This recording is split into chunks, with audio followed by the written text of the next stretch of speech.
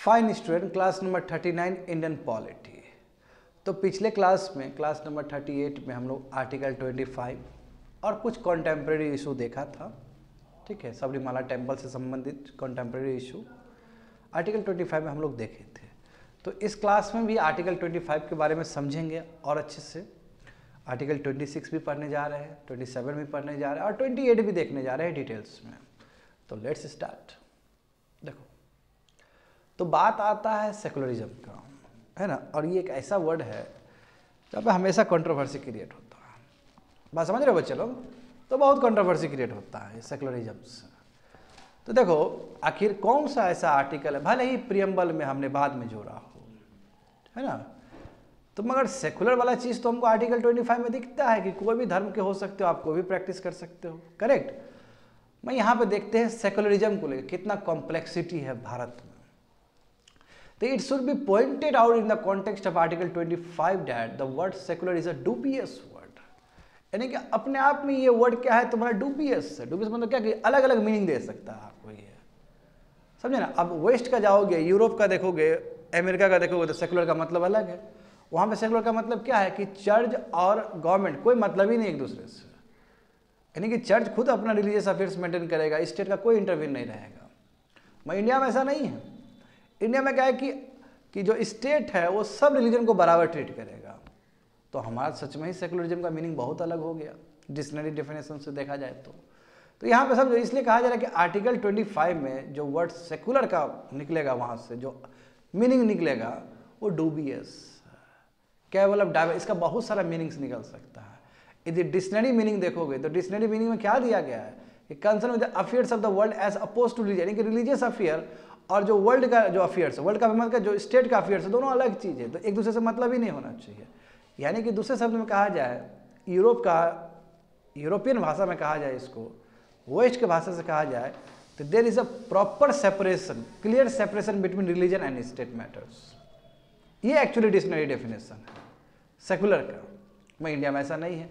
इसलिए देखो क्या बोला जाए this has not only cost confusion amongst teacher of political science political science जो इतने पॉलिटिकल जो साइंस के टीचर है इतने जो विद्वान होते हैं वो भी कन्फ्यूज़ यहाँ जो लॉ है लॉ वाले जो एक्सपर्ट है वो भी कन्फ्यूज़ है ना? इसका जानते हो कि पॉलिटिकल पार्टी लोग वेस्टेड इंटरेस्ट उठा लेते हैं इससे मिसयूज कर लेते हैं. एक है तो सेफ़ है हम्म, जो नारा है. या फिर बटोगे तो कटोगे. इस तरह का नारा चलता है ना जी? सब सेकुलर का ही चोला है वो. वहीं से निकलता है सब चीज़. तो इसमें बोला गया कि yes but has also been taken advantage by vested interest party कई पार्टी सब और देखो, कांग्रेस ने कम यूज़ किया है क्या सेकुलर सबसे ज़्यादा तो कांग्रेस ही उठ किया है। अभी तक देश में मैं ओपन बोलता हूँ बिना टीचर में बोलता हूँ कि किसी ने सेकुलर वर्ड का सबसे ज़्यादा यूज़ किया मिस यूज़ किया है।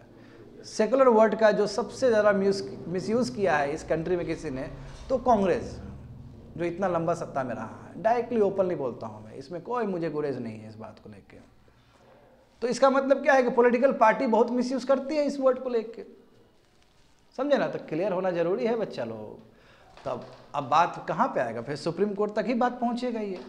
एंड सुप्रीम कोर्ट आएगा अपना नाइन जज के साथ और कहेगा कि देखो सेकुलर का मतलब ये है। Don't worry I give you the definition तो सेकुलरिज्म का डेफिनेशन सुप्रीम कोर्ट देगा, बताओ। समझे ना? देखो, ये क्या the state of confusion has been set at rest by authority pronouncement made by the Supreme Court a nine जज डिसीज़न एज फॉलोस तो वो अपना आके नाइन जज बेंच के डिसीज़न से वो अपना बताएँगे कि देखो सेकुलरिज्म का मतलब ये डोंट बी कंफ्यूज सेकुलरिज्म का मतलब ये होगा। तो सुप्रीम कोर्ट को तो आना ही पड़ेगा ना। तो अब देखो सेकुलरिज्म देखो, बहुत खास चीज़ है। जो तुम समझते हो सेकुलरिज्म का मतलब वैसा नहीं है।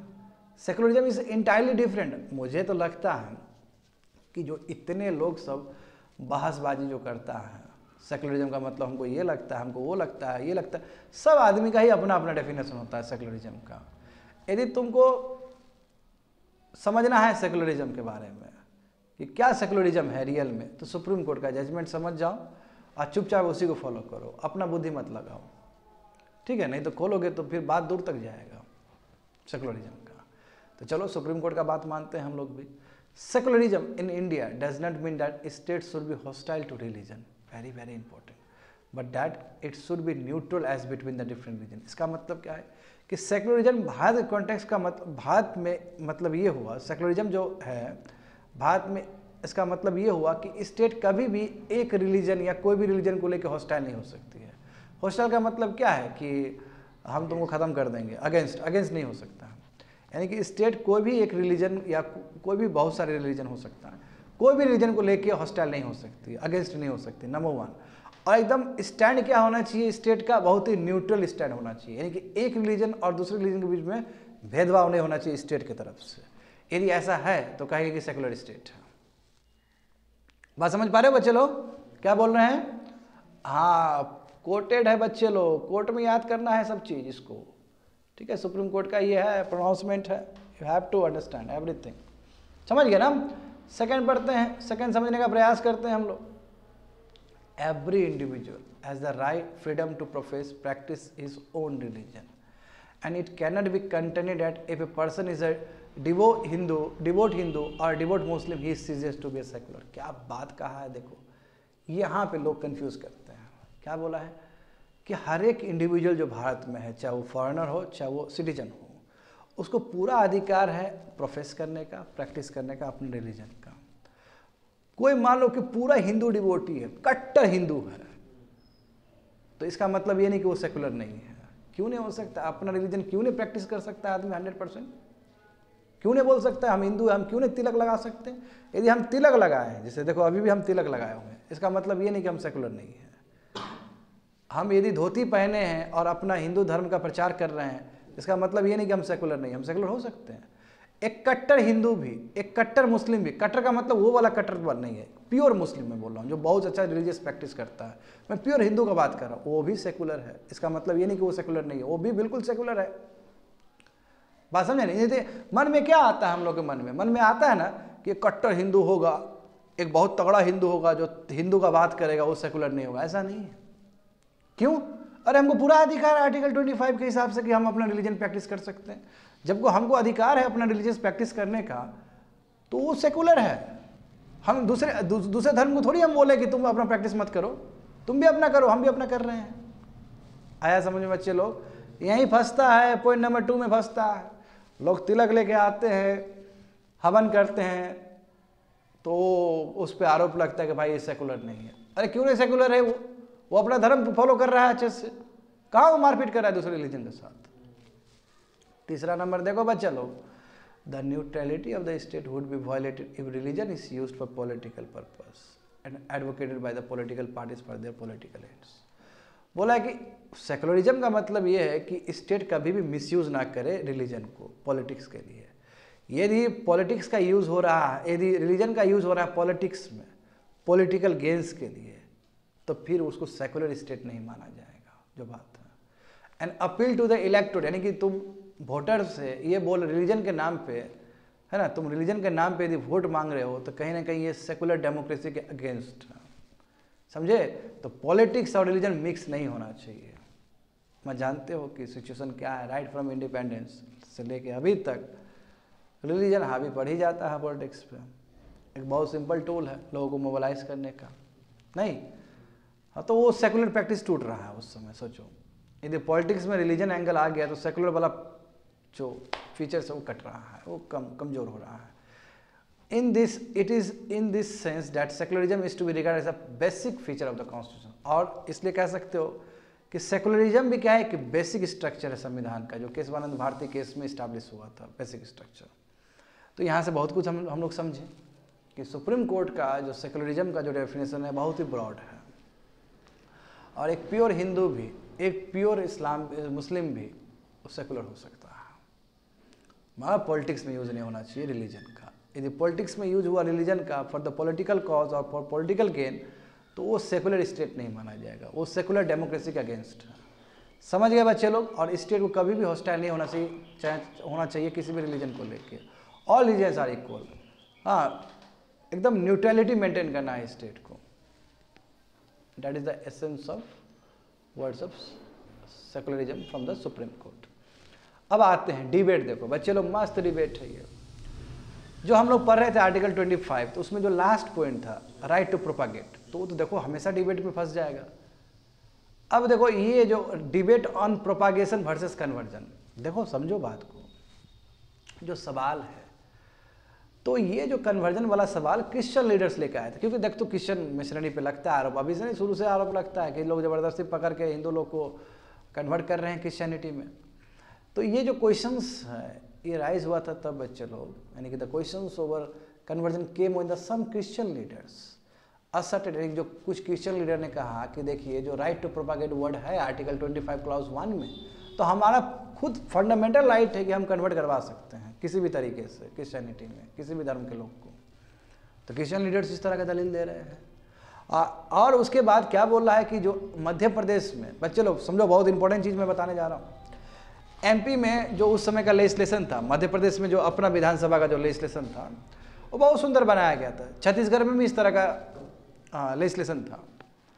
तो क्रिश्चियन जो लीडर्स है, जो चर्च के जो पादरी सब है फादर सब है, या लीडर सब है, उन्होंने कहा कि देखिए, जो एमपी का जो जो लेजिस्लेशन है, वो कहीं ना कहीं आर्टिकल 25 का वायलेशन है। ये क्रिश्चियन लीडर्स लोग लेके आए थे। देखो आप यहाँ समझो। This assertion followed by the agitation in particularly amazing because it seeks to undermine the decision of supreme court in stance Stanislaus case in January 1977 which had been brought by the Christian father. यानी कि ये 1977 में जो ये case हुआ था, ये Christian father ही लेके आए थे। और उन्होंने कहा था कि एमपी मध्य प्रदेश में जो एक्ट है, मध्य प्रदेश का जो एक्ट है, वो क्या है? गलत है। क्यों गलत है? क्योंकि उसमें हाँ वो क्रिश्चियन फादर बोल रहा है क्योंकि उसमें मध्य प्रदेश के एक्ट में ये लिखा गया है बच्चे लोग कि कोई भी आदमी को कन्वर्ट कर रहा है किसी भी धर्म में फोर्स से फ्रॉड से। देखो वहाँ पे, और एलोरमेंट से। एलोरमेंट का मतलब क्या है कि लोभ से। कि हम तुमको एजुकेशन दे देंगे तुम्हारे बच्चे को, या तुमको घर दे देंगे। तो फोर्स मतलब ज़बरदस्ती प्रेशर फ्रॉड गलत तरीके से, या लोभ एलोरमेंट से यदि हो रहा है, तीन चीज़ से यदि कन्वर्जन हो रहा है किसी का तो गलत है वो। और उसके लिए पैनल ऑफेंस मिलेगा। यह मध्य प्रदेश का लॉ है। अब इस चीज़ को लेकर चैलेंज कर दिया तुम्हारा किशन फादर ने उस केस में। तो अब सुप्रीम कोर्ट देखो, अब सुप्रीम कोर्ट होगा ना? अब सुप्रीम कोर्ट ने क्या करेगा सुप्रीम कोर्ट क्या करेगा कि इस तरह का जो भी इश्यूज़ है, सबको एक साथ लेगा और फैसला सुनाएगा। यहाँ पे देखो। सिमिलर वही उड़ीसा में भी इस तरह केस है। अच्छा सॉरी मैंने छत्तीसगढ़ बोल दिया होगा तो सॉरी उड़ीसा का भी सिमिलर एक्ट था अपना। और वहाँ पे केवल इंड्यूसमेंट के बदले में एलोरमेंट था। दोनों का मीनिंग सेम होता है। एलोरमेंट और इंड्यूसमेंट दोनों का मीनिंग होता है लो भी होता है। ठीक है तो दोनों ही मामला पहुँचा वहाँ पे। और इसको भी क्रिश्चियन कम्युनिटी ने क्रिश्चियन कम्युनिटी के जो मेंबर्स ने, इसको भी चैलेंज किया उड़ीसा वाला लॉ को। समझे ना? वही including a Christian society a professor of geology और वही बहुत सारे जो क्रिश्चियन प्रिस्ट थे, सब किए। दोनों ही ऊपर गया। यानी कि उड़ीसा का वो भी एक्ट जाएगा मामला सुप्रीम कोर्ट में। और एमपी का भी जाएगा मामला सुप्रीम कोर्ट में। मोर और लेस दोनों का सेम ही चीज़ ना है। कन्वर्जन नहीं होना चाहिए फोर्स फ्रॉड और अलॉटमेंट या इंडोसमेंट में। यही बात है। अब देखो तो दोनों एक्ट को साथ में लिया सुप्रीम कोर्ट ने। एंड सुप्रीम कोर्ट ने ये जो क्रिश्चियन कम्युनिटी का जो प्ली था, उसको रिजेक्ट किया। बोला ऐसे थोड़ी होता है। राइट टू प्रोपागेट का मतलब राइट टू कन्वर्जन कब से हो गया? सही तो है, दोनों ही कॉन्स्टिट्यूशनल वैलिड है, दोनों ही लॉ वैलिड है। तो भागो यहाँ से, भगा दिया उसको।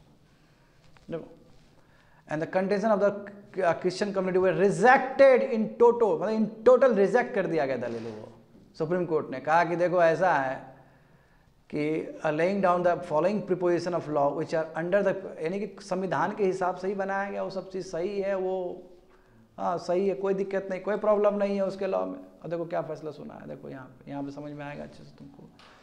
Following are the main judgments proposition based on our constitution under which the S C supreme court has rejected the argument pose by some Christian community तो क्या क्या देखो क्या क्या हुआ, देखो। क्या कि देखो, चलो, ठीक है राइट टू प्रोपागेट है article twenty five clause one में। अच्छी बात है। सब मेंबर को मिला है। जितने भी धर्म के लोग हैं, सब अपना बात को फैला सकते हैं। कोई दिक्कत नहीं है।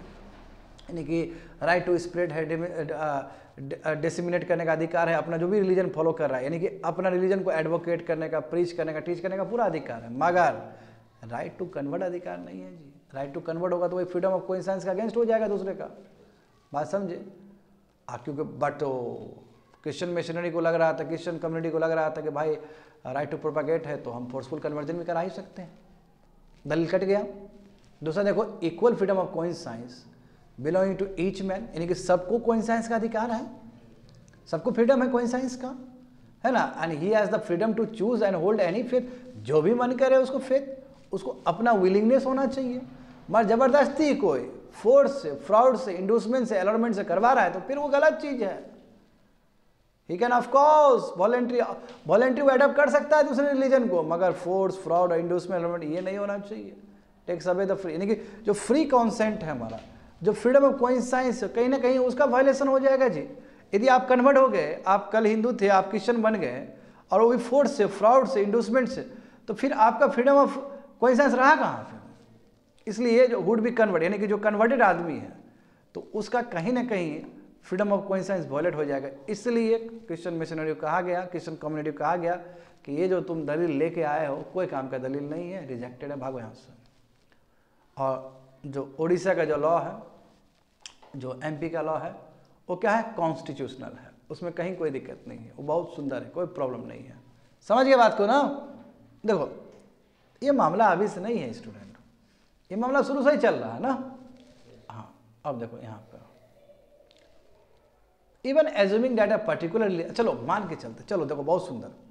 चलो, मान के चलते। एक हेपोथेटिकल सिचुएशन दिया कि मान के चलो कि चलो, ठीक है, हर रिलीजन के पास प्रोपागेट करने का तरीका हो, जिसमें कन्वर्जन भी है। मान के चलते कन्वर्जन भी है।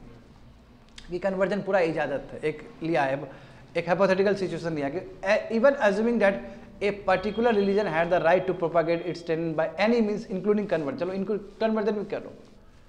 मगर at the same time state के पास भी तो अधिकार है, देखो। State has the right and duty to intervene if such activity of convergence यदि कोई भी कन्वर्जन हो रहा है, जिसकी वजह से पब्लिक ऑर्डर के अगेंस्ट हो रहा है बात मॉरलिटी के अगेंस्ट हो रहा है हेल्थ के अगेंस्ट हो रहा है, या दूसरे जो जो दिया गया है आपका फंडामेंटल राइट उसके अगेंस्ट हो रहा तो स्टेट इंटरवीन कर सकती है। तो इसलिए तुम कन्वर्जन वाला चीज़ भी होगा तो स्टेट आकर मना कर देगा, गलत हो रहा है, क्योंकि पब्लिक क्यों हो जाएगा ना। एक धर्म आदमी का कन्वर्ट करेगा, फिर दूसरा धर्म आएगा, फिर दूसरा आदमी कन्वर्ट करने के लिए।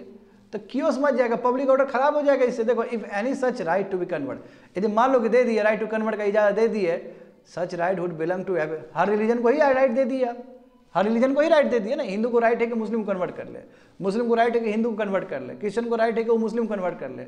सबको ही आपने दे दिया इजाज़त फिर कहाँ पहुंचेगा? So there would be in यानी कि पूरा पब्लिक पीस का ब्रिज हो जाएगा जी। एवरी रिलीजन दौड़ना शुरू हो जाएगा कैंपेन करना शुरू हो जाएगा, हमारे धर्म में आओ, हमारे धर्म में आओ। फोर्स फ्रॉड इंड्यूसमेंट एलमेंट सब यूज़ हो जाएगा। पब्लिक पीस पब्लिक ऑर्डर पूरा बर्बाद हो जाएगा। तो हैपोथेटिकल सिचुएशन में भी ये पॉसिबल नहीं है एक तो ऐसा है नहीं। मैं यदि हम दे भी दे तो फिर भी स्टेट इंटरवीन करके मना कर देगी उस चीज़ को। देखो क्या लॉजिक है। ठीक है, जब घर वापसी वाला दिखाया गया कि जो हिंदू कन्वर्ट होकर चले गए दूसरे में, वो घर वापसी कर सकते उसके लिए देखो रिचुअल सब हो रहा है। नहीं होना चाहिए कन्वर्जन ठीक है कन्वर्जन वेरी बैड जो दादा परदादा से जो फॉलो करते आए हो। अरे एग्नोस्टिक बनकर रहो ना एथियस्ट बनकर रहो चुपचाप शांति से। धर्म क्यों चेंज करना? समझ लो ना? हाँ धर्म विलिंगली चेंज करो तो दूसरा विषय है, फिर यहाँ पे ये भी बोलना पड़ेगा। मैं किसी के प्रेशर में नहीं होना चाहिए। देखो तो स्टेट वॉज़ देयर फोर इसलिए स्टेट को कॉन्स्टिट्यूशनली तो कहा गया कि पब्लिक ऑर्डर आपको मेंटेन करना है। है ना? इस तरह का जो कन्वर्जन है, गलत तरीके से यदि कन्वर्जन हो रहा है फोर्स फ्रॉड इंडोसमेंट एलिमेंट्स तो बिल्कुल स्टेट इस तरह कन्वर्जन को पेनालाइज कर सकती है और प्रोहिबिट कर सकती है, रोक सकती है। समझे? देखो, वही लिखा गया है। तो दिस एग्जैक्टली एमपी एक्ट और ओडिशा एक्ट में भी तो यही किया। है तो इसलिए सुप्रीम कोर्ट ने कहा कि एमपी का जो एक्ट है उड़ीसा का जो एक्ट है, वो क्या है कॉन्स्टिट्यूशनल वैलिड है? है ना? और क्रिश्चियन पार्टीज़ का जो भी दलील था, सबको रिजेक्ट कर दिया सुप्रीम कोर्ट ने। होप सब बच्चे लोग समझ में आ गया होगा। तो पिछले क्लास में हम लोग सबरीमाला वाला इशू देखे थे कंटेम्प्रेरी इशू और एक इशू ये वाला भी देख लिया कन्वर्जन वाला। दो इशू हो गया। अब आते हैं आर्टिकल 26 में। बहुत ही ईजी है, ठीक है? आर्टिकल 26 बहुत ईजी है। समझना होगा अच्छे से हमें। देखो आर्टिकल 26 ये भी क्या है? Right to freedom of religion article 20 भी तुम्हारा क्या है broadly right to freedom of religion के अंदर ही आता है। आर्टिकल 26 भी होगा। देखो, आर्टिकल 26 के हिसाब से क्या है? बच्चे लोग समझना होगा ठीक से। एवरी रिलीजियस डिनोमिनेशन और any of its section shall have the following rights यानी कि जो भी रिलीजियस डिनोमिनेशन आप पूछो सर डिनोमिनेशन का मतलब क्या है? तो denomination can be many thing denomination का मतलब हो सकता है टेंपल भी हो सकता है ट्रस्ट भी हो सकता है। समझे? ट्रस्ट होता है ना जी? वो भी हो सकता है। जिस जिस कम्युनिटी के लिए, जिस धर्म के लिए बनाया गया हो। तो जितने भी रिलीजियस ट्रस्ट है या रिलीजियस इंस्टीट्यूशन है, ठीक है तो उसको ये सभी अधिकार है। क्या क्या अधिकार है? नंबर ये देखो। Right to establish and maintain institution for religious and charitable purposes के लिए पर्पसेस यानी कि उसको पूरा अधिकार है कि वो इस तरह का इंस्टीट्यूशन बना सकता है। रिलीजियस पर्पज़ के लिए, जैसे गुरुद्वारा बन गया रिलीजियस पर्पज़ के लिए और चैरिटेबल पर्पस के लिए। चैरिटेबल पर्पस के लिए बन सकता है कि लोग आएगा, लंगर खाएँगे, लोग जाएँगे। या कुछ अच्छा चैरिटेबल मतलब कुछ पानी उनी पिला रहा है, कुछ खाना खिला रहा है। इस तरह के लिए हर एक रिलीजियस इंस्टीट्यूशन को मतलब हर एक रिलीजियस कम्युनिटी को यह अधिकार है हाँ मैंने शुरू में भी कहा था कि article 25 individual freedom of religion individual right of freedom of religion मगर जो आर्टिकल 26 है, वो कलेक्टिव है कम्युनिटी को दिया जाता है कि आप अपना टेंपल खुद स्वयं मेंटेन कर सकते हैं। आप अपना ट्रस्ट खुद मेंटेन कर सकते हैं, चाहे वो चैरिटेबल पर्पज़ के लिए हो, चाहे वो अपना रिलीजियस पर्पज़ के लिए हो। आया समझ में बच्चे लोग? नंबर वन समझ में आ गया ना? इस्टेब्लिश करने का अधिकार है मेंटेन करने का अधिकार है आपका इंस्टीट्यूशन चाहे वो रिलीजियस पर्पज़ के लिए हो चैरिटेबल पर्पज़ के लिए हो नंबर वन दूसरा क्या है? कि right to manage its own affairs यानी कि अपना जो इंटरनल डे टू डे जो एक्टिविटीज़ होगा, काम करने का जो तरीका है, वो खुद ही आप मेंटेन कर सकते हो। जैसे मान लो कि एक टेंपल है। टेंपल में दिन भर का अपना चर्या होता है ना जी? दिन भर का, रात भर का अपना चर्या होता है। सुबह उठना पुरिस्ट का पूजा, फिर वहाँ पे बहुत सारा पूजा पाठ, गाना बजाना। बहुत तरह का बात है कि नहीं है? वो खुद ही मेंटेन कर सकता है, अपना। केवल ये तो हो गया, चलो ठीक है, ये तो वर्शिप हो गया। वो वर्शिप से पीछे भी मैनेजमेंट का भी बहुत सारा काम होता है। कोई मान लो कि कोई एक समारोह करना है तो lots of things lots of activities वो सब कर सकता है, उसी रिलीजियस का पीपल कर सकता है। तो religion to manage its own affair अपना अफेयर्स आप स्वयं कर सकते हो। Right to own and acquire movable and immovable property यानी कि आपका जो मोएबल प्रॉपर्टी मोएबल प्रॉपर्टी का मतलब क्या है? जो, जैसे पैसा हो गया, पैसा एक जगह से दूसरी जगह जा सकता है ना? जैसे गिफ्ट हो गया, एक जगह से दूसरी जगह जा सकता है ना? तो वो मोवेबल प्रॉपर्टी हो। इमोबल प्रॉपर्टी का मतलब क्या है? जैसे लैंड लैंड एक जगह से दूसरी जगह नहीं जा सकता। है तो मोएबल प्रॉपर्टी और इमोवेबल प्रॉपर्टी दोनों को ही वो क्या कर सकता है? मैनेज कर सकता है। एक्वायर करके रख सकता है अपने अपने लिए, अपने कलेक्टिव चीज़ के लिए। लास्ट वन देखो right to admission such property in हाँ। और उस तरह का प्रॉपर्टी के ऊपर भी वो काम कर सकता है बट लॉ के हिसाब से, अपने मन से नहीं। लॉ में यदि जो चीज़ दिया गया है तो लॉ को देखते हुए उस प्रॉपर्टी को एडमिनिस्टर करना उस प्रॉपर्टी के ऊपर काम करना है। उस प्रॉपर्टी को देख रेख करना है, उसको एडमिनिस्टर करना है, उसको मैनेज करना है। ये चार चीज़ अधिकार है आर्टिकल 26 के अंतर्गत। तो हम कह सकते हैं कि आर्टिकल 26 क्या है? ब्रॉड चीज़ है, जिसमें पूरा इजाज़त है कि जो भी रिलीजियस कम्युनिटी के आप लोग हो आप अपना जो इंस्टीट्यूशन स्वयं मेंटेन कर सकते हो। ठीक है स्टेट इंटरव्यू नहीं करेंगे। हाँ at the same time subject to certain restriction भी होगा बच्चे लोग। है ना? देखो तो आर्टिकल देखो, वही लिखा गया कि आर्टिकल 25 गारंटी देता है राइट्स ऑफ़ इंडिविजुअल्स को about freedom of religion but article 26 क्या है? कि ये राइट्स देता है रिलीजियस डिनोमिनेशन को। कहने का मतलब क्या? कलेक्टिव फ्रीडम ऑफ़ रिलीजन है ये। क्या ये कलेक्टिव फ्रीडम ऑफ़ रिलीजन है। यानी कि सब हिंदू को दे रहा है एक साथ। समझ गए बच्चे लोग? तो लाइक द आर्टिकल जैसे हमने देखा ना कि आर्टिकल 25 भी तो उसमें भी रीजनेबल रिस्ट्रिक्शन था। तो सिमिलरली आर्टिकल 26 में भी सब्जेक्ट टू सर्टन रिस्ट्रिक्शन है, जैसे public order morality and health but article 25 की तरह नहीं है। आर्टिकल 25 में क्या था कि other provision related to fundamental rights इसमें वो प्रोविज़न नहीं है आर्टिकल 26 में। तो आर्टिकल 26 में केवल तीन ही रिस्ट्रिक्शन है। क्या क्या है? Public order public morality and health हाँ अब कहो सर हेल्थ का इशू क्यों क्यों कर रहे थे हेल्थ बिल्कुल, यदि कोविड नाइन्टीन हो गया और तुम मंदिर जा रहे हो तो मना किया जा सकता है तुमको मंदिर से? और वहाँ मैनेजमेंट का काम कर रहे हो तो मना किया जा सकता है? उस समय स्टेट इंटरव्यून करके बोले कि मैनेजमेंट का काम दूसरा कोई देखेगा? बात समझ रहे हो ना? हाँ वेरी वेरी इंपॉर्टेंट हेल्थ वाला इशू आर्टिकल 25 के अंदर भी आता है हेल्थ क्लॉज अब यहाँ पे देखो। अब सवाल ये आया देखो वही तो मैं बोल रहा हूँ ना। अब रिलीजियस डिनोमिनेशन वर्ड दे दिया गया।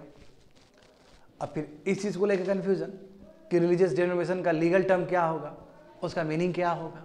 नहीं, अब लेवन परस्पेक्टिव से क्या बोलते कोई भी ट्रस्ट हो सकता है, कोई भी टेंपल हो सकता है। टेंपल का मतलब जिसमें गिरजाघर भी मैं बोल रहा हूँ और मस्क भी हो सकता है। बस सुप्रीम कोर्ट को फिर आना होगा। और सुप्रीम कोर्ट को कहना होगा कि देखिए ये सब कैरेक्टर होता है रिलीजियस डिनोमिनेशन बनने के लिए। तो देखो सुप्रीम कोर्ट ने क्या कहा है?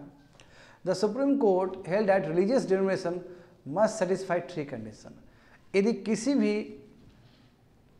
इंस्टीट्यूशन को रिलीजियस डिनोमिनेशन बनना है तो उसके लिए तीन कंडीशन फॉलो करना होगा। कितना कंडीशन तीन कंडीशन पहला कंडीशन क्या है? देखो it should be a collection of individuals who have system of believe which they regard as the conducive to the spiritual wellbeing जैसे एग्ज़ाम्पल देखो टेंपल टेंपल में बहुत सारे लोगों का बिलीव है ना? यानी कि वही रिलीजियस डिनोमिनेशन हो सकता है जहाँ पे बहुत सारे लोग का बिलीव हो। और वो बिलीव इसलिए ताकि उसका स्पिरिचुअल वेलबिंग हो सके। यानी कि वहाँ जाके मंदिर में जाके कि, कितना माइंड बहुत अच्छा हो जाता है ना हाथ जोड़ने से स्पिरिचुअल वेलबिंग होता है कि नहीं होता? है तो पहला कंडीशन ये है कि वो इंडिविजुअल का नहीं हो सकता है। जैसे मान लो कि हमने कोई भगवान को क्रिएट कर दिया दिमाग से और हम बना दिए वो चीज़ और हम बोल रहे हैं कि वो क्या है मेरा रिलीजियस डिनोमिनेशन वो ऐसा नहीं हो सकता। यदि कोई भी बन रहा है रिलीज़ रिलीजियस डिनोमिनेशन तुम उसको बोल रहे हो स्टेटस दे रहे हो तो उसमें कलेक्टिव लोग का बिलीफ सिस्टम होना चाहिए। केवल एक ही हिंदू नहीं पहुँचना चाहिए, वहाँ सब टाइप के लोग पहुँचना चाहिए, ताकि मंदिर को देखने के लिए, मंदिर में पूजा करने के लिए। बात समझे? नंबर वन दूसरा क्या है? देखो it should have a common organisation organisation एक ही होना चाहिए। अब ऐसा नहीं कि बना ली हो, अब पचास ऑर्गेनाइजेशन उससे संबंधित। नो एक, जैसे देखो होता है ना बच्चे लोग, तुम लोग बाबा धाम जाते हो ना, कहीं पिलग्रिमेज जाते होगे तुम लोग, या नहीं भी जाते हो तो समझ सकते हो कि कहीं पिलग्रिमेज जाओगे तो बहुत तरह का धर्मशाला सब में मिलता है। तो एक ही ऑर्गेनाइजेशन होना चाहिए।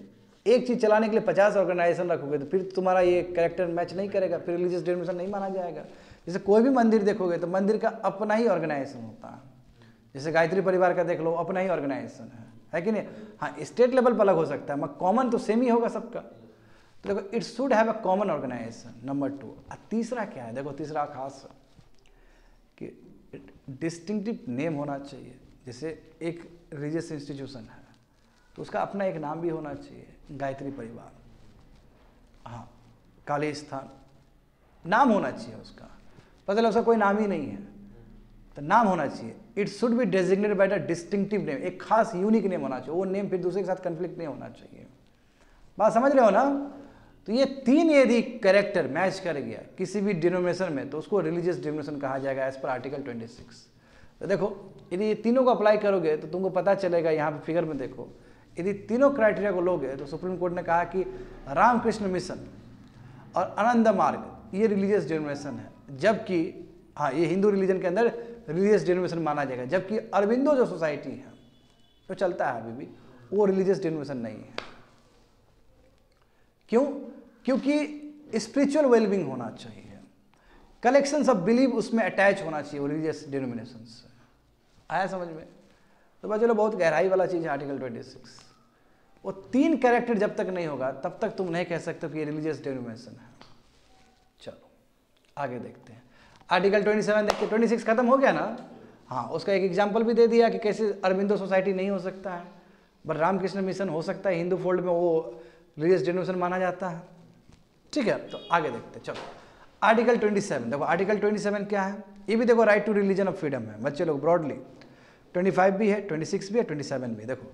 आर्टिकल 27 कहता है कि no person shall be compel to pay any taxes for the promotion और maintenance of any particular religion और रिलीजियस डिनोमिनेशन यानी कि कोई भी आदमी को मजबूर नहीं किया जाए टैक्स पे करने के लिए, ताकि उसका धर्म का प्रचार हो जाए स्टेट की तरफ़ से। या उसका रिलीजियस डिनोमिनेशन को यदि मेंटेन करना है तो उसको कोई भी टैक्स पे करने की ज़रूरत नहीं है सरकार को। ना ही सरकार मजबूर कर सकती है। हाँ टैक्स और फ़ी दो अलग चीज़ है, मैं भी बता देता हूँ। टैक्स अलग चीज़ है फ़ी अलग चीज़ है, मैं थोड़ी देर में बताऊँगा। तो टैक्स और फ़ी अलग चीज़ है बच्चे लोग। तो इसमें क्या आर्टिकल 27 में क्या बोला गया है कि कोई भी धर्म को प्रचार करने के लिए, कोई भी रिलीजियस डिनोमिनेशन को प्रैक्टिस करने के लिए स्टेट कभी भी फोर्स नहीं कर सकती है टैक्स के लिए। आया समझ में ना? एक दूसरे शब्द में कहा जाए तो state should not spend the public money collected by the way of tax for promotion और maintenance of any particular religion. तो यानी कि स्टेट जो पब्लिक मनी उठा रही है टैक्स के फॉर्म में, वो पैसा कभी भी एक रिलीजन को बढ़ावा देने के लिए खर्च नहीं कर सकती है। बात समझे ना? एक रिलीजन को बढ़ावा देने के लिए कभी भी खर्च नहीं कर सकते। क्यों? क्योंकि भारत में सेकुलरिज्म का मतलब क्या कि स्टेट न्यूट्रल होना होगा। स्टेट कोई रिलीजन को ना प्रमोट करे, ना कोई रिलीजन को तिरस्कार करे। स्टेट के सामने सब रिलीजन बराबर है तो पब्लिक का जो एक्सचेकर है, पब्लिक का जो मनी है, पब्लिक मनी जो करेक्ट करती है स्टेट, चाहे वो सेंट्रल गवर्नमेंट हो, चाहे स्टेट गवर्नमेंट, स्टेट दोनों के लिए होगा बच्चे लोग। या फिर वही स्टेट का बात किया गया है जो तुम्हारा आर्टिकल ट्वेल्व में दिया गया है। बार बार मैं कहता हूँ ना कि जितना भी स्टेट का डेफिनेशन होगा फंडामेंटल राइट्स में, वो आर्टिकल ट्वेल्व का होगा। स्टेट का मतलब क्या है? पब्लिक अथॉरिटी, जो आरटीआई के अंदर आ सकता है।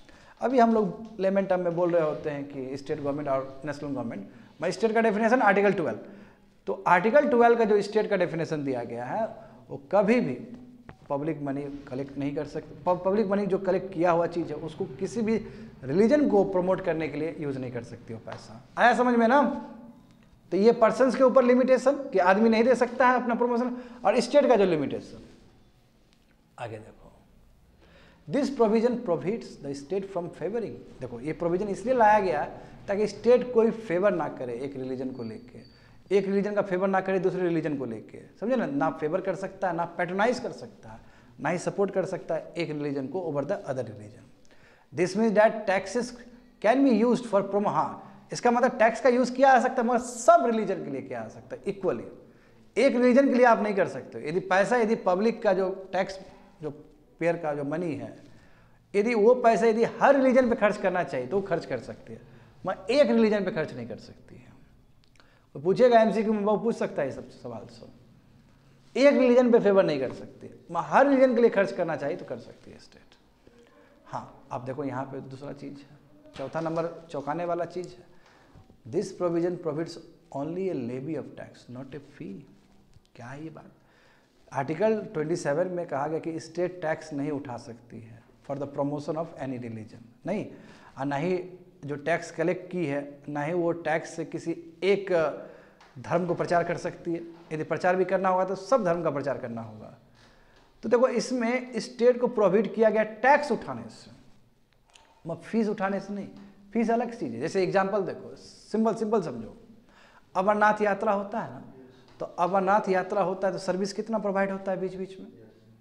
वहाँ पे आर्मी मैन बैठे रहते हैं, तुमको पानी फ्री में मिलता है, तुमको बहुत कुछ मिलता है। तो उस समय स्टेट फ़ी ले सकती है, क्योंकि फ़ी जो ले रही है वो वो फ़ी तुम्हारा धर्म को प्रचार करने के लिए नहीं ले रही है, वो एडमिनिस्ट्रेशन के लिए ले रही है। That point to be note this is because the purpose of fee is to control the secular administration जहाँ में कोई धर्म का बात ही नहीं है। एडमिनिस्ट्रेशन सेकुलर एडमिनिस्ट्रेशन को करना है मैनेज करना है। नॉट टू प्रोवाइड और प्रमोट एनी रिलीजन रिलीजन को प्रमोट करना नहीं है। जैसे अमरनाथ यात्रा हुआ तो लंबा यात्रा होता है ना जी, लोग जाते हैं तो अलग अलग जगह तुमको फैसिलिटी मिलेगा ना जी। उसके लिए state can go for the fee also state fee उठा सकती है उस कम्युनिटी से, जिसका हो रहा है, जा रहा है लोग से या जो इंडिविजुअल जो जा रहा है, पैसा उससे मांगा जा सकता है कि इतना पैसा दो, तब जाओ। क्या कि स्टेट को पैसा लगता है इसको मेंटेन करने में। मैं स्टेट वो रिलीजन पर्पज से नहीं मांग रही है, वो मैनेजमेंट के लिए मांग रही है, वो एडमिनिस्ट्रेशन के लिए मांग रही है। दस देखो, यही लिखा गया thus a fee can be levied on pilgrimage जो जाते हैं, श्रद्धालु लोग जो जाते हैं, लंबा लंबा जो पिलग्रिमेज जाते हैं, उसको पिलग्रिम्स कहते हैं। पिलग्रिम्स ऊपर लगाया जा सकता है। क्यों? आफ्टर ऑल तुमको सेफ्टी मिल रहा है, तुमको सिक्योरिटी मिल रहा है, और उसके लिए दस जवान को खड़ा किया जा रहा है वहाँ पे। तो दस जवान खड़ा किया तो पैसा चाहिए ना उसको, अलग से? तो उस केस में ज़रूरी नहीं कि स्टेट हमेशा लेगी, मैं स्टेट ले सकती हूँ उस समय। Similarly a fee can be levied on the religious endowments for meeting the regulation expenditure और सिमिलरली लेवी तुम्हारा रिलीजियस इंडोमेंट्स में भी हो सकता है। समझे ना? यानी कि इस तरह का ट्रस्ट उस पर भी हो सकता है for meeting the regulation expenditure यानी कि एक्सपेंडिचर खर्च हो। ठीक है ना? मतलब एक्सपेंडिचर खर्च हो। उसके लिए इतना इतना खर्च हो, उसके लिए लेवी लगा सकती है। तो बट जो लेवी लगा रही है, जो भी हो, चाहे रिलीजियस डिनोमिनेशन पे लगाया जा रहा है, चाहे तुम्हारा उस पर लगाया जा रहा हो इंडिविजुअल पे लगाया जा रहा है बट वो रिलीजन के पर्पज से नहीं लगाया जा रहा है। वो किस पर्पज से लगाया जा रहा है? तुम्हारा सेकुलर एडमिनिस्ट्रेशन के लिए लगाया जा रहा है। वो मैनेजमेंट के लिए लगाया जा रहा है। पॉइंट टू बी नोटेड हाँ। आर्टिकल ट्वेंटी एट अब देखो article twenty eight article twenty eight भी उतना ही इंपॉर्टेंट है, बच्चे लोग। ये भी क्या है? Right to freedom of religion तो आर्टिकल 25, 26, 27, 28 आ यही सेकुलर फीचर है इंडियन कॉन्स्टिट्यूशन का। इसी को पढ़ के नहीं आ रहा है कि स्टेट कभी भी वो नहीं कर सकती है पक्षपात नहीं कर सकती है रिलीजन को लेके। तो देखो आर्टिकल 28 क्या कहता है? No religious instruction shall be provided in any educational institution wholly maintained out of state fund यानी कि स्टेट 100 परसेंट सपोर्ट कर रहा है किसी भी एजुकेशनल इंस्टीट्यूशन को। समझे ना? यानी किसी भी कॉलेज को या यूनिवर्सिटी को, यदि स्टेट हंड्रेड परसेंट पैसा चला दे रही है तो वहाँ पे कोई रिलीजियस इंस्ट्रक्शन नहीं हो सकता है। रिलीजियस इंस्ट्रक्शन समझ रहे हो ना? मतलब वहाँ पे यस हिंदू का अपना कोड नहीं हो सकता है वहाँ मुस्लिम का अपना कोड नहीं हो सकता है वहाँ पे उर्दू नहीं पढ़ाया जा सकता है ज़बरदस्ती उर्दू नहीं बोला जा सकता, वहाँ पे संस्कृत ज़बरदस्ती नहीं बोला जा सकता, वो सब के लिए है। तो नो रिलीजियस इंस्ट्रक्शन कोई रिलीजियस इंस्ट्रक्शन नहीं हो सकता है वहाँ पे। कहाँ पे? उस एजुकेशनल इंस्टीट्यूशन में, जहाँ पे स्टेट हंड्रेड परसेंट फंड दे रही है। हाँ मगर देखो, इसमें तुमको बहुत कुछ मिलेगा इसमें देखने के लिए। However this provision shall not apply to an educational institution administered by the state but establish under any endowment or trust requiring imparting of religious instruction in such institution क्या बोला गया है? तो यहाँ पे डिफाइन किया गया कि एजुकेशनल इंस्टीट्यूशन और कितने टाइप के हो सकते हैं। वो एजुकेशनल इंस्टीट्यूशन जो एडमिनिस्टर तो स्टेट कर रहा है, मगर वो इस्टेब्लिश हुआ है ट्रस्ट के रूप में। वो इस्टाब्लिश हुआ है इंडोमेंट के रूप में तो वहाँ पे बच्चे लोग, समझे ना? वहाँ पे स्टेट ज़बरदस्ती नहीं कर सकती कि तुमको नहीं देना है तो वहाँ पे रिलीजियस इंस्ट्रक्शन हो सकता है। क्यों? क्योंकि उसी टाइप के लोग के लिए बनाया गया है वो, जैसे मान लो कि मुस्लिम संस्था बनाया गया भले स्टेट सपोर्ट कर रही है, भले स्टेट एडमिनिस्टर कर रही है, ऊपर से सिलेबस क्या होना चाहिए अंदर का जो मीडियम ऑफ़ इंस्ट्रक्शन है, वो मुस्लिम खुद तय कर सकता है, या फिर हिंदू खुद तय कर सकता है, या फिर दूसरे वाले क्लास वाले लोग खुद तय कर सकते हैं। आया समझ में ये चीज़? How this provision shall not apply to that यानी कौन सा प्रोविज़न बोला जा रहा है कि रिलीजियस इंस्ट्रक्शन नहीं होना? यानी कहने का मतलब क्या कि रिलीजियस इंस्ट्रक्शन हो सकता है उस एजुकेशनल इंस्टीट्यूशन में जहाँ पे स्टेट एडमिनिस्टर कर रही है, मगर वो जो रिलीजियस इंस्टीट्यूशन है वो अपने आप में ट्रस्ट के रूप में बना है। तो वहाँ पे दिया, क्योंकि वो बनाया इसलिए गया है ताकि वो वेरी पर्पस उस पर्पस कंप्लीट हो सके। जैसे मदरसा एग्ज़ाम्पल देखो ना। मदरसा भले ही स्टेट ऊपर से एडमिनिस्टर कर रही है मदरसा में रिलीजियस इंस्ट्रक्शन हो सकता है। जैसे गुरुकुल हो गया हिंदू का तो गुरुकुल में भले ही स्टेट ऊपर से एडमिनिस्टर कर रही है कि टीचर कैसा होगा, क्या सब्जेक्ट्स होंगे मैं जो संस्कृत पढ़ाना, है ना, या हिंदू कोड पढ़ाना, वो अलाउड है, कोई दिक्कत नहीं। Further no person attending any educational institution recognise by the state or received aid of the state fund shall be require to attend any religious instruction or worship in that without his consent यानी कि कोई भी religious institution में जो बच्चा लोग पढ़ेगा, कोई भी आदमी आएगा अटेंड करेगा। अटेंड करने का मतलब क्या है? वो टीचर हो सकता है, विद्यार्थी हो सकता है। समझे ना? Further no person attending any educational institution recognise in state का पूरा रिकोगनाइज है, या फिर एड मिल रहा है स्टेट से। ठीक है? तो वो ज़रूरी नहीं है कि सब रिलीजियस इंस्ट्रक्शन या वर्शिप को फॉलो करेगा। विदाउट हिज कंसेंट यदि वो बोला कि हम रिलीजियस इंस्ट्रक्शन फॉलो नहीं करेंगे तो फॉलो नहीं करेगा। उसका कंसेंट भी होना ज़रूरी है, जो रिलीजियस इंस्टीट्यूशन को अच्छी जो अटेंड कर रहा। यदि मान लो कोई माइनर है, अठारह साल से नीचे है, मान लो एक विद्यार्थी है, सो, अभी कंटेम्प्रेरी इशू में समझोगे इस चीज़ को और अच्छे से। मान लो एक विद्यार्थी है। हाँ और वो प्रार्थना नहीं करना चाहता, हाथ नहीं जोड़ना चाहता। क्यों? क्योंकि वो मुस्लिम धर्म से आता है। वो पढ़ रहा है केंद्र विद्यालय में। चलो मैं अभी इशू खोल देता हूँ यहीं पर केंद्र विद्यालय में पढ़ रहा है। तो उसको मजबूर नहीं किया जाए हाथ जोड़ने से। क्यों? आफ्टर वो मुस्लिम धर्म से आता है। बात समझ रहे हो ना? यदि ऐसे केस में माइनर है बच्चा लोग, चौदह साल का बच्चा तो उसको पिताजी से पूछो, उसके गार्जियन से पूछो। समझे ना? तो यहाँ का जो एडल्ट है तो एडल्ट तो खुद बता देगा कि हमको करना है कि नहीं करना है। यदि माइनर है तो उसको फादर मदर से पूछना पड़ेगा उसके गार्जियन से पूछना पड़ेगा। उसके ऊपर कोई ज़बरदस्ती नहीं होना चाहिए कि रिलीजियस इंस्ट्रक्शन है, ये आपको फॉलो करना ही पड़ेगा बोल के। समझे? यदि ये नहीं समझ में आया तो कोई बात नहीं, ये समझ जाओगे। ये देखो, अब यहाँ पे तुमको बहुत अच्छे से रख दिया गया बात को, कि जो भी आर्टिकल 28 पढ़े हो बच्चे लोग, यहाँ से ये समझ में आता है कि चार तरह का एजुकेशनल इंस्टीट्यूशन होता है। कितने तरह के? चार तरह के एजुकेशनल इंस्टीट्यूशन होते हैं। पहला क्या है? कि ऐसा एजुकेशनल इंस्टीट्यूशन जो पूरा स्टेट मेंटेन कर रहा है, स्टेट पैसा दे रहा है, एडमिनिस्टर कर रहा है, टोटल स्टेट कर रहा है। समझ गए? दूसरा देखो, इंस्टीट्यूशन एडमिनिस्टर तो कर रहा है, मैनेजमेंट ऊपर से कर रहा है, मगर वो इस्टेब्लिश हुआ है ट्रस्ट के रूप में इंडोमेंट के रूप में। तो वो अपने पर्टिकुलर सेक्शन ऑफ़ पीपल को लेकर करेगा, और वहाँ पर रिलीजियस इंस्ट्रक्शन अलाउड है।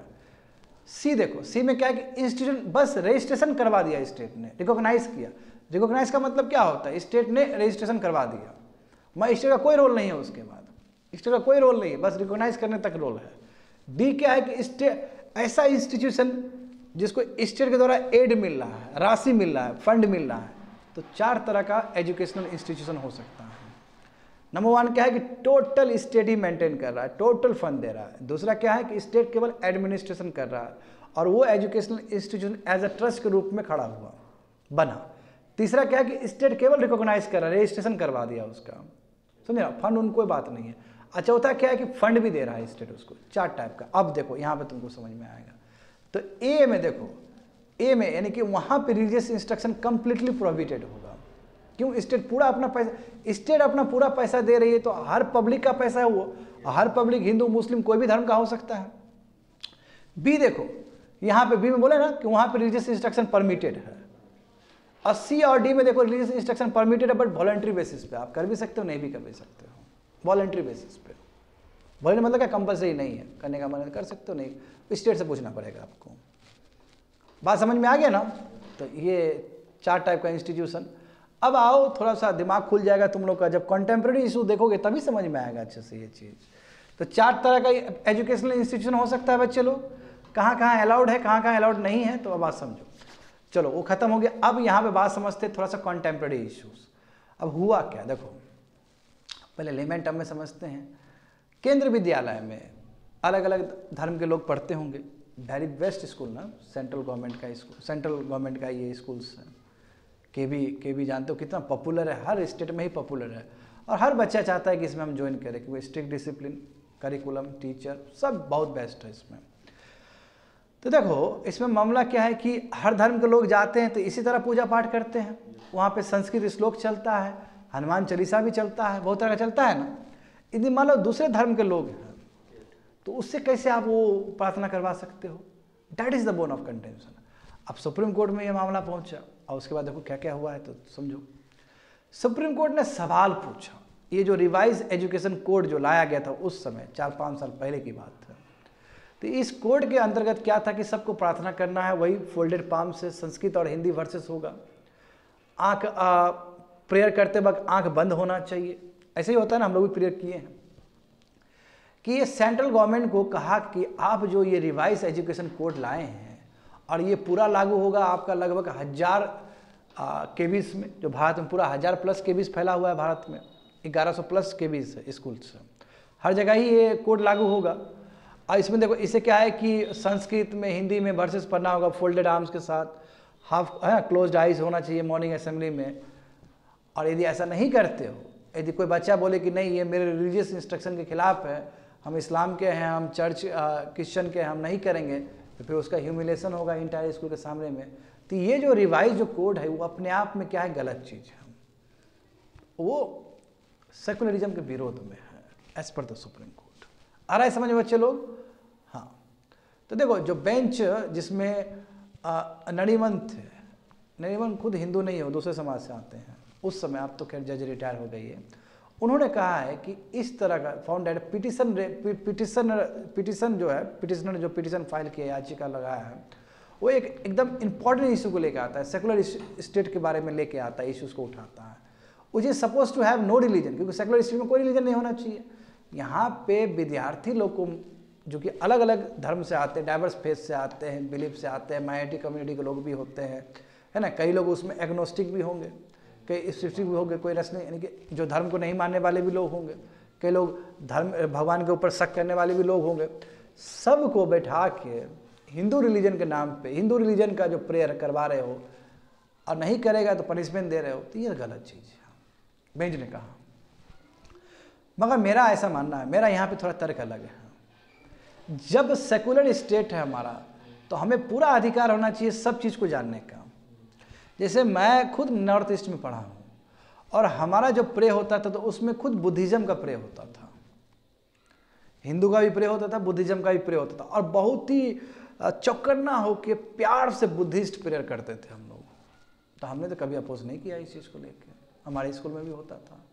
यदि कंट्री डाइवर्स मेरा ओपिनियन डिफरेंट है यहाँ पे। यदि कंट्री डाइवर्स है तो पूरा जानने का अधिकार होना चाहिए। हाँ इसमें कह सकते हो कि सर, खाली हिंदू का ही हो रहा तो मैं कहूँगा कि नो हिंदू के साथ और भी धर्म का डाल दो। और भी धर्म का डाल दो। हिंदू का भी लोग सीखे, मुस्लिम धर्म का भी सीखे, क्रिश्चियन धर्म का भी सीखे, और बुद्धिज्म का भी सीखे।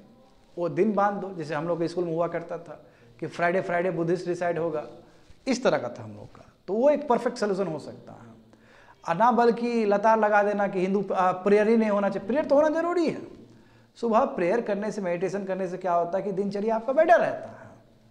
बात समझ? ये मेरा अपना पर्सनल ओपिनियन है। देखो, अब यहाँ पे समझो।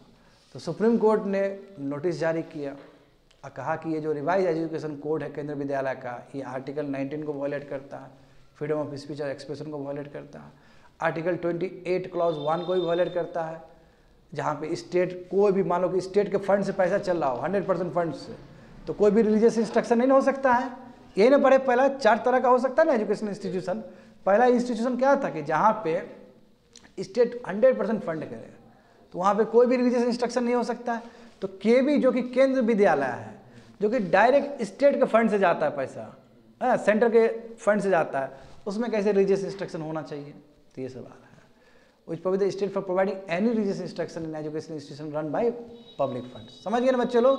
तो petition file in the supreme court से कॉमन प्रेयर ये जो कॉमन प्रेयर सबके लिए सेम हिंदू वाला प्रेयर जो है, संस्कृत वाला जो वर्सेस है, वो कहीं ना कहीं रिलीजियस इंस्ट्रक्शन ही है, जो कि गलत है। ये कहीं ना कहीं article twenty one twenty eight clause one को वायलेट करता है आर्टिकल नाइनटीन को भी वायलेट करता है। देखो मामला।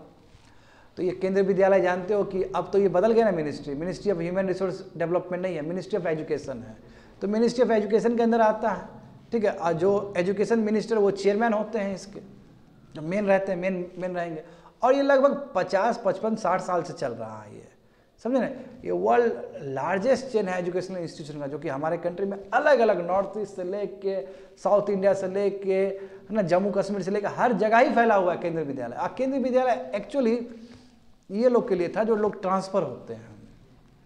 ताकि हाँ आर्मी वाले लोग के लिए हो गए या सेवा वाले जो लोग देते हैं सर्विस में होते हैं उन लोग के लिए एक्चुअली कि जब ट्रांसफ़र होगा इन लोग का रिपीटेडली तो कहीं तो उन लोग का बच्चा पढ़े ठीक से।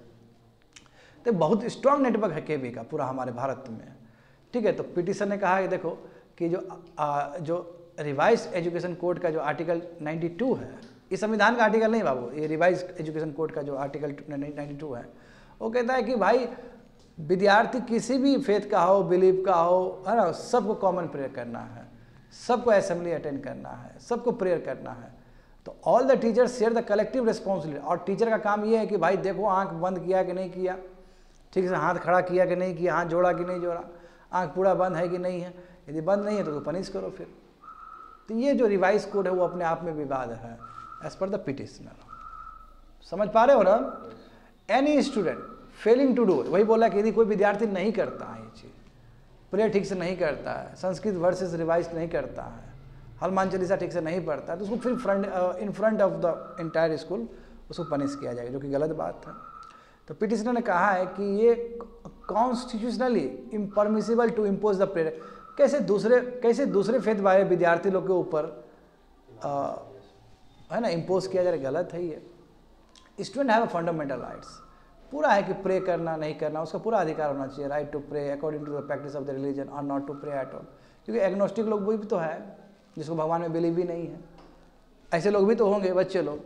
और हम कर क्या रहे हैं? इस तरह का प्रे करवा के प्रैक्टिस करवा के, कहीं ना कहीं जो साइंटिफिक टेम्परामेंट होना चाहिए, वो सब लूज हो रहा है।